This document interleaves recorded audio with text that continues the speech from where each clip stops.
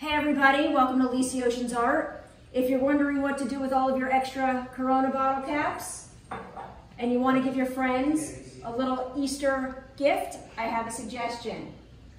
I got a little extra toilet paper and I'm going to be spreading this to my friends.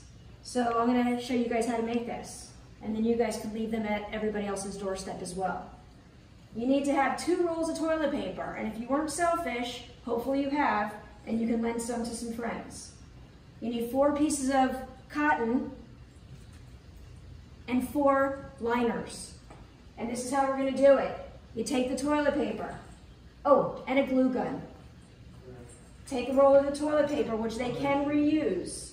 Put a little bit of glue right there. Attach it.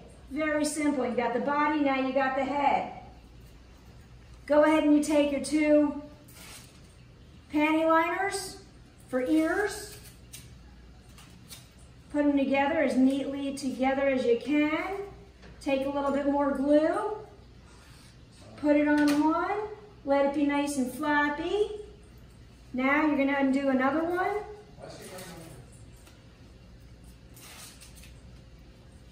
Here you go. You got your other ear. Attach it on. Go ahead and get your bunny little tail. Glue it on. Oops, don't get it to your table. There you go. And the best part is your extra Corona caps. Make them as your eyes. And it doesn't have to be perfect because this is a, just a nice little gift for your friends. Voila.